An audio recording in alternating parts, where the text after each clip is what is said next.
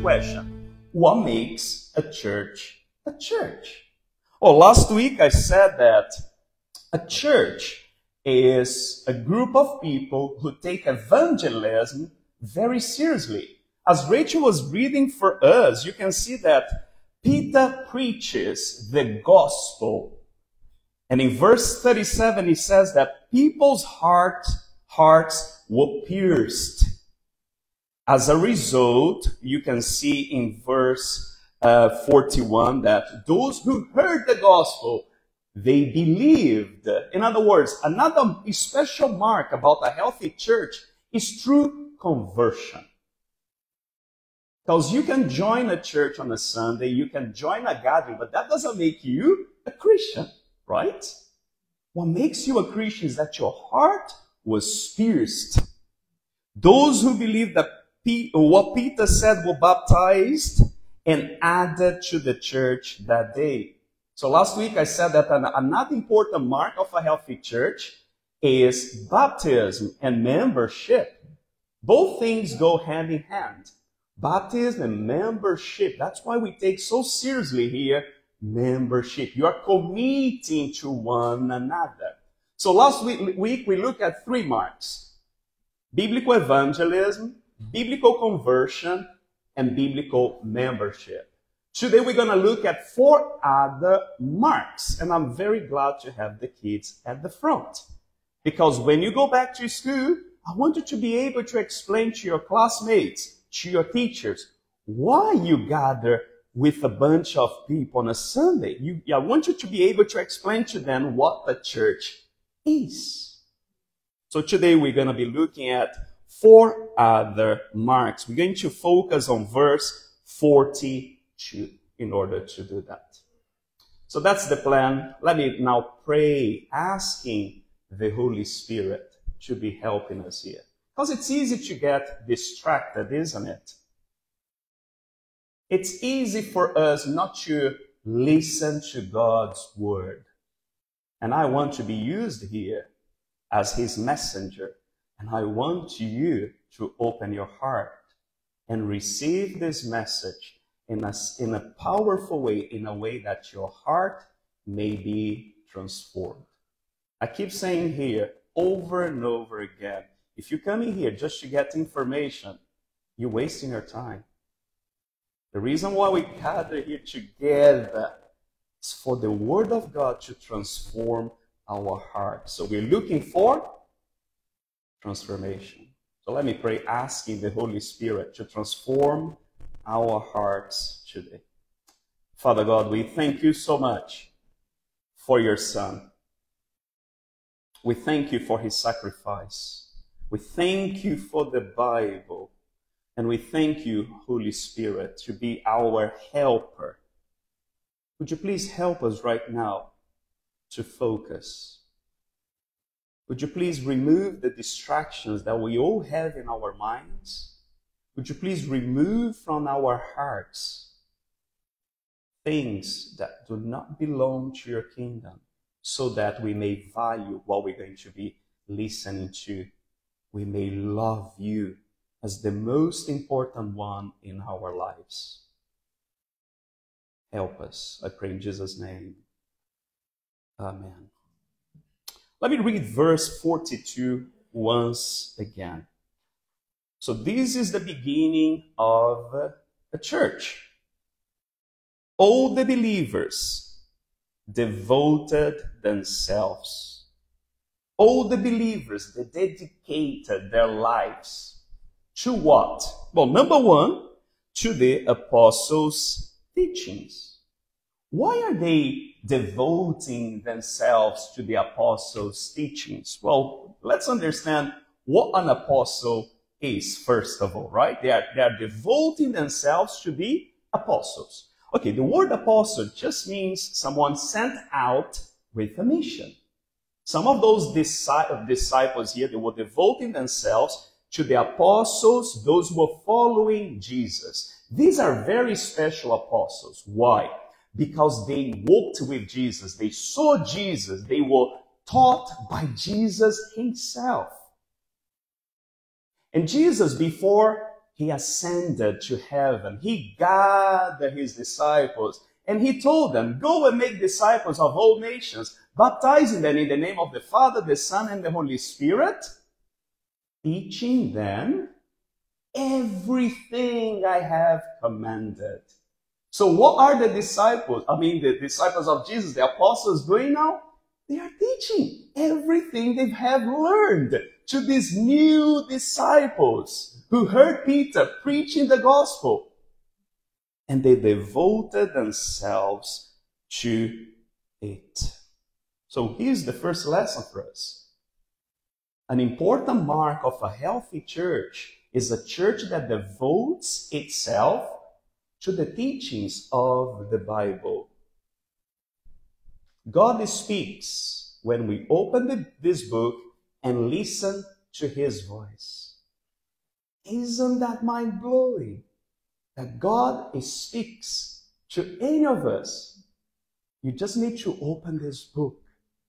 And a church that values it, it's a healthy church.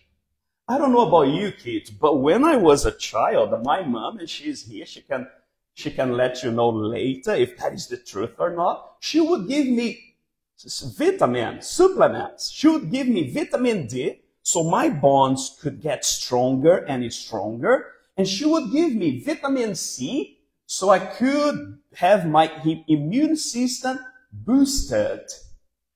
And that's what the Word of God does. It's like a vitamin that, that gives us, nurtures, strengthens us, and at the same time boosts our immune system against false teaching.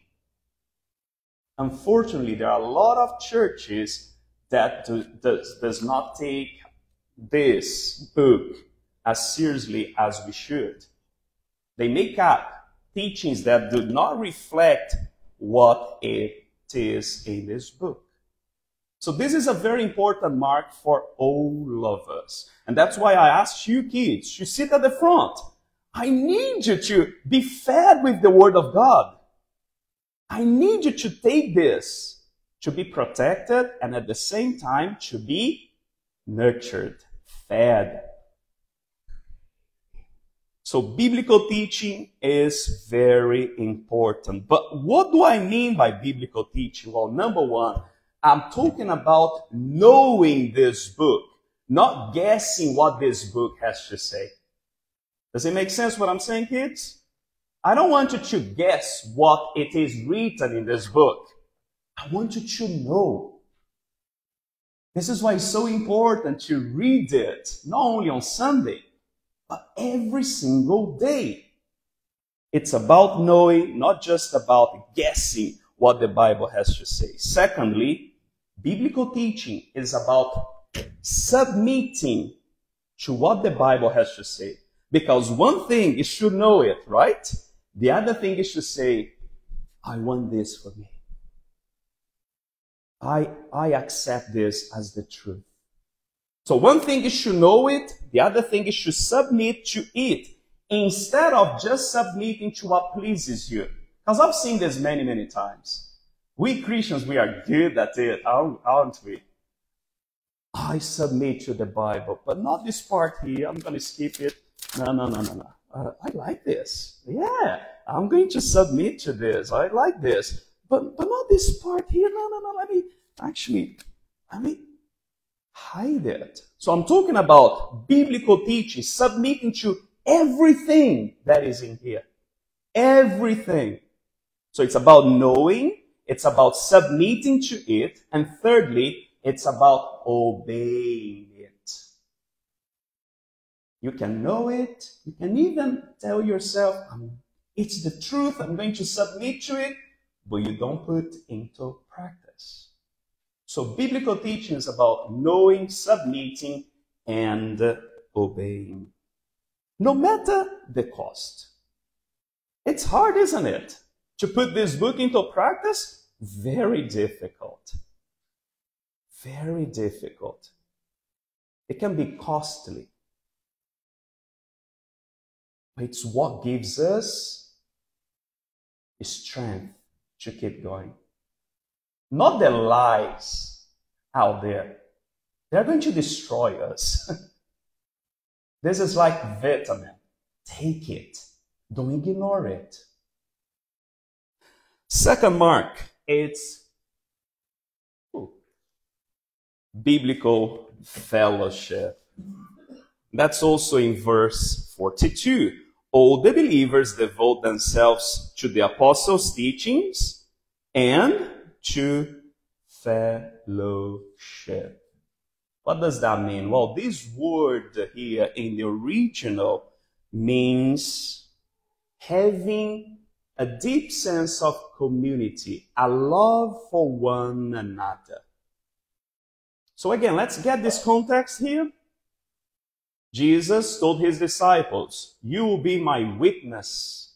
Peter preaches the gospel. People hear the gospel. Their hearts are pierced. They believe, they repent, they get baptized, they are added to the church. Now they are devoting themselves to the apostles' teachings and they have fellowship. They learn how to love one another. And this is something very important, but something that unfortunately we are losing, right? I found out recently that the number of the so-called de-churched, those who believe in Jesus but they don't want anything to do with the church is just increasing. If it was a country, it would be the fifth biggest country in the world. Can you believe in that, kids? People who follow Jesus but they don't devote themselves to the fellowship, they don't like Jesus people. They like Jesus, they don't like Jesus people. They don't like to have fellowship with other believers. They don't want to love one another as they are meant to love.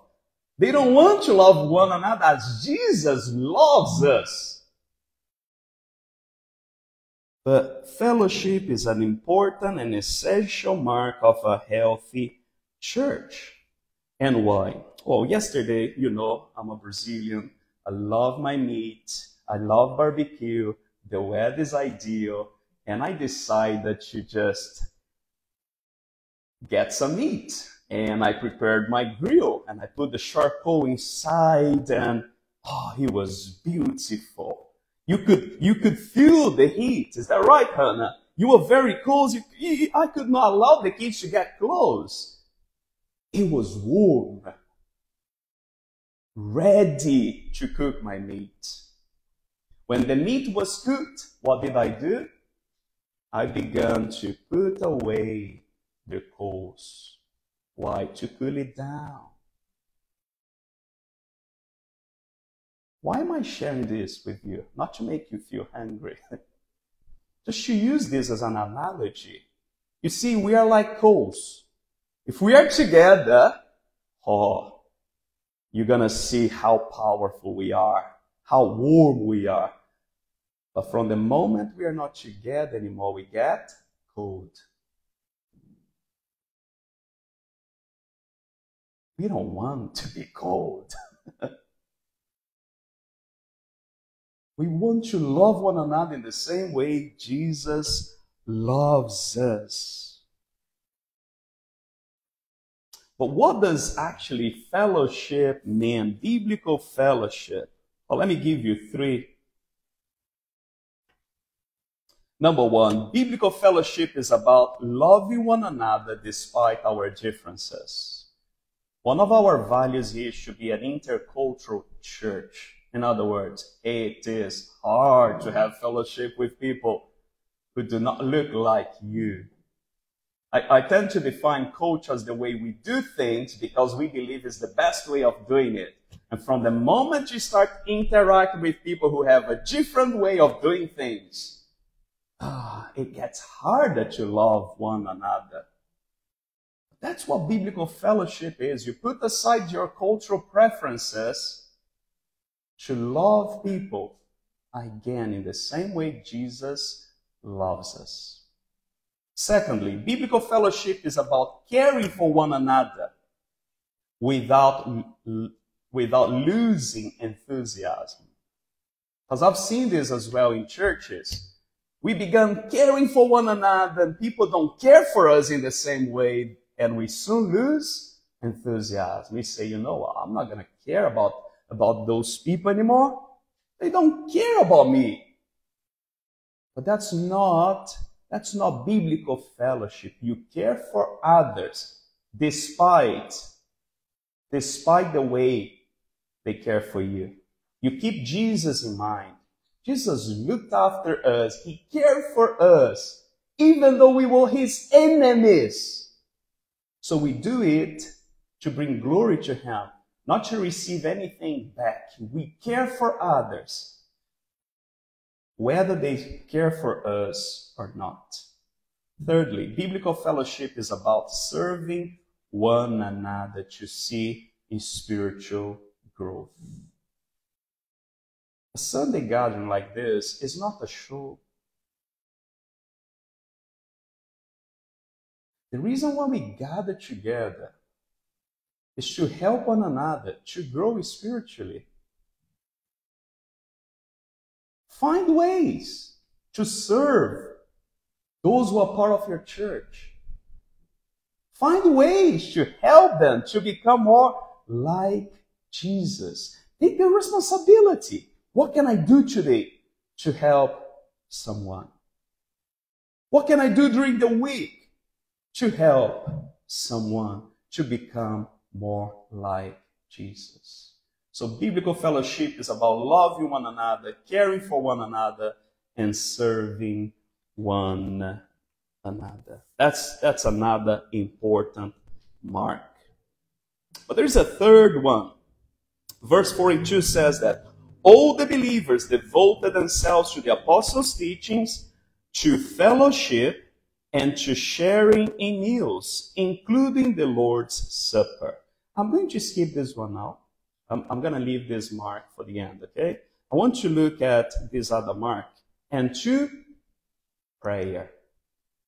Okay, so they devoted themselves to the apostles' teachings, to fellowship, and to prayer. And why are they doing it? Well, they are doing it because their Lord did it. Jesus spent a lot of his time praying, praying to the Father. Now the disciples are doing the same. This young church is devoting to prayer. Another essential mark of a healthy church a mark that we need to take into account very seriously. A few days ago, Alon and I, we decided to take a day just for, for both of us. So we spent the day together. And I don't know if she was paying attention, but we spoke for seven hours without stop. I was like, wow. We've known each other for over 20 years. We've been married for over 20 years, and we still had a lot to talk about. Seven hours without a break. For us, that was a break anyway. and it was great. It was great. So when I talk about prayer, I'm talking about talking to someone we love, Jesus. I'm not talking about a religious tradition. I'm talking about open your heart to the one you love with pleasure. And the disciples, this new church that devoted themselves to talk to Jesus with joy in their hearts, not because they had to do it. They didn't get bored. So, what do I mean by prayer here? What do I mean by biblical prayer? Why is that a, an important mark? Well, biblical prayer is about open your heart to Jesus, not repetition. Okay? I know, I know some people think that prayer is about repetition. No, it's a conversation with the one you love. You open your heart because you have a relationship with Him. Secondly, biblical praise is about humbling yourself before Jesus. You're not doing it because you want to twist God's arm to do what you want. Does it make sense what I'm saying? Some people think prayer is all about petition, asking Him to give what you want. And because you want something so much, you start talking to Him. But not because you want to have a relationship with Him. You do it because you're like, come on, God, give me what I want. There is no relationship. You treat Him in a business way, in a transactional way, not in a relational way. So biblical praise about opening your heart, humbling yourself before Jesus, and spending time with Him as you do with those you love. If I could spend seven hours talking to a Luana, how much more should I be spending with the one I love the most, right? And as you do it, it gets easier, easier, and easier. A very important mark. Another mark is communion. And that's my last mark for today, okay? Next week we've got four more marks. But let me stop at, with this one. Verse 42 again. All the believers devoted themselves to the apostles' teachings and to fellowship and sharing in news, including the Lord's Supper. What does that mean? Oh, in summary, before Jesus died on the cross, he gathered his disciples and they had a meal together. And during that meal, he turned to his disciples and he took some bread and he broke the bread and he says, This is my body, which is broken for you. In other words, on the cross, his body was broken for us. He took the cup with wine and he said, This is my blood in other words, this is going to be shed for you as a sacrifice. Do this in remembrance of me. Celebrate the Lord's Supper, communion, to remind yourself about a sacrifice. What sacrifice are you talking about, Alex? Oh, Jesus. He died on a cross. Not because he was a criminal, Kids, what did Jesus do to deserve death on a cross? Painful. What did he do? Did he disobey his parents? Did he rebel against the Roman Empire? What did he do? He might be a bad person to die that way. What did he do? For our sins. And what is sin? Sin is a rebellion against this good God is to use your freedom to do whatever you want, not take into account what God wants. Is to do whatever you want, not taking, not, not, not take into account the consequences of your choices. We all rebelled against God, right? We all said we don't want you. You made us. You loved us but we hate you. We don't like you. We don't, we don't like what you, you want us to do. We, we don't want to do what you, you want us to do. We want to be our own gods. And what do we deserve? Well, we deserve death, separation from God. If we don't want God, the result of it is separation, isn't it? To be disconnected from Him. But He is the source of life. He's the one who sustains life. And this is the problem of sin. Sin leads to death, eternal death, eternal suffering, because if He is good and we are far away from what is good, guess what? By rebellion against Him, we choosing suffering for all eternity. But God is so good. For God so loved the world that instead of destroying us, He sent His Son to take upon Himself our sin. And when He gathered His disciples and He says, This is my body which is broken for you, this is my blood which is shed for you, He was saying, I will take it.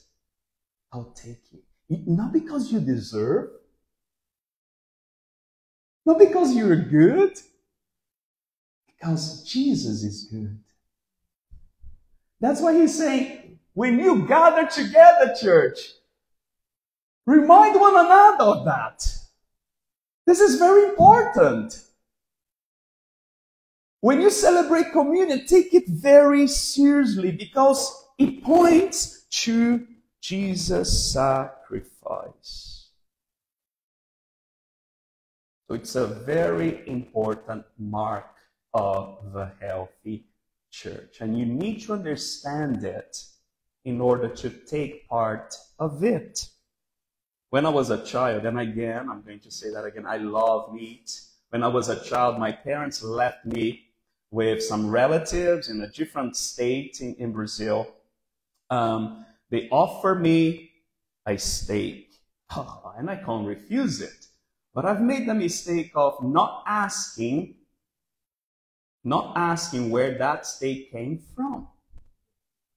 I had it, they all look at me, some of them were laughing, and I was wondering, why are they laughing? Why are they looking at me? And they asked me, Alex, did you like it? Yes, that's really nice.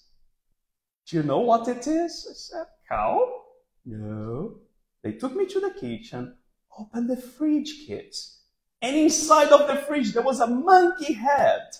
Ugh! Can't believe I had this.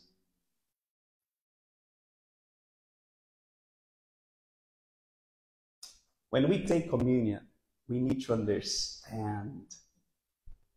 Because I don't want you to regret taking it, not knowing what communion is.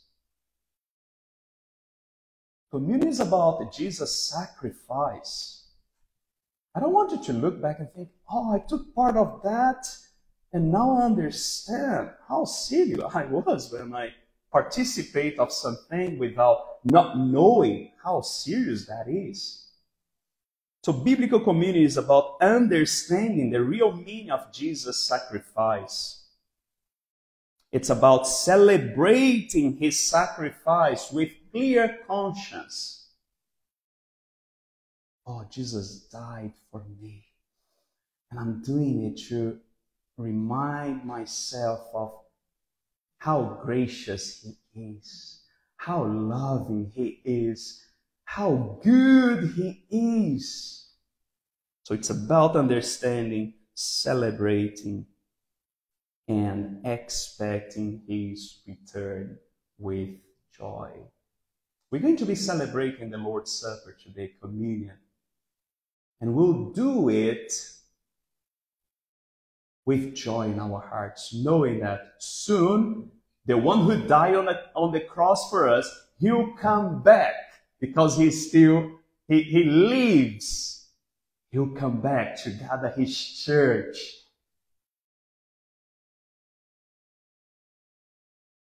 So what make, what comes to your mind when you hear the word church? What comes to the minds of those out there with your friends, your classmates, your co-workers, your neighbors? I know they have a lot of negative answers for that, to that question. A lot. But the church is not perfect. This is one of the things you need to understand and you need to under, uh, help your friends to understand. The church is not perfect. Therefore, it's not the perfect group of people.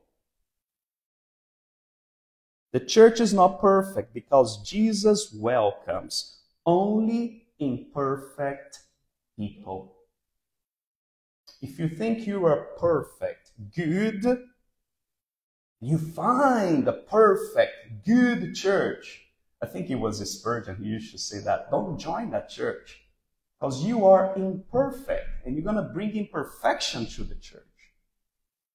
So we need to help our friends to understand that, yes, the church has made a lot of mistakes, because Jesus welcomes only imperfect people. And while we are here, we're going to make mistakes.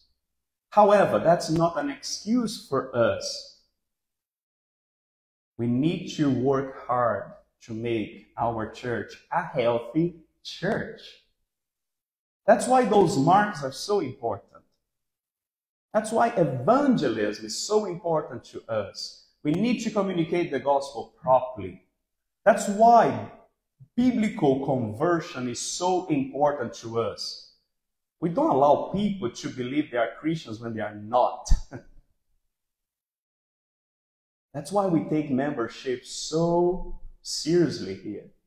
That's why the teachings of the Bible is so important to us. That's why fellowship is so important. That's why prayer is so important. That's why communion is so important to us. We are a group of imperfect people, but we want to work hard to become a healthier church. Let me pray. And as I pray, I want you to search your heart. I want you to ask God to be removing from your heart everything that might not be helping you to have a good relationship with Jesus and with those around you. And maybe you're not committed to the church, Jesus' body. Today, I want you to search your heart and try to identify the reasons why you're not committed to Jesus' body.